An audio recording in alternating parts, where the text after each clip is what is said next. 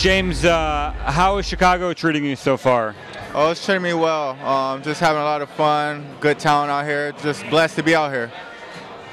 How do you feel you've, you've done at the combine so far? Um, I think I did pretty good. Um, I think I could shot I could have shot the ball uh, the ball a lot better, but we got tomorrow.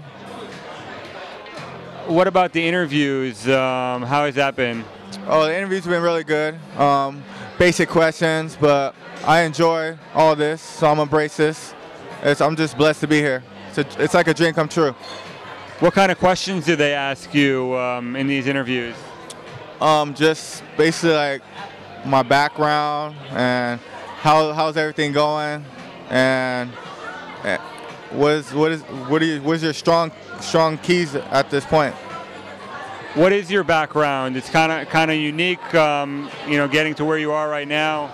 Oh yeah, it's just 'cause I came from a mid major, so it's it's a lot tougher coming from a mid major, but um, I put in the work and now I'm here. What kind of player were you in high school? Um, in high school, I was a high flyer.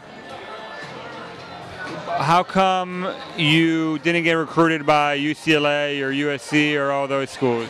Um, the reason I didn't get recruited by the big school is probably just because of my grades, and that's the main reason my grades weren't that good. Because um, when I was younger in high school, we moved around a lot before the semester ended.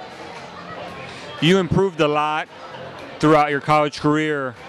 How were you able to accomplish that? What do you think you improved on? Um, just my overall game because um, I stayed in the gym.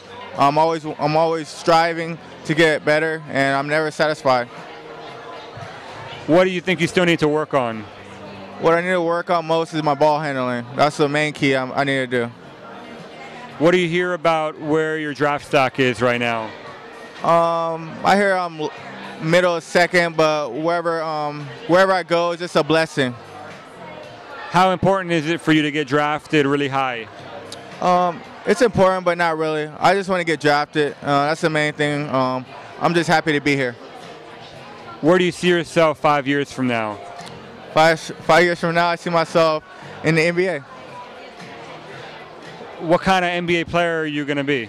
Um, when I come in, my biggest role is defense. Defense is the main key in the NBA, and I love to play defense.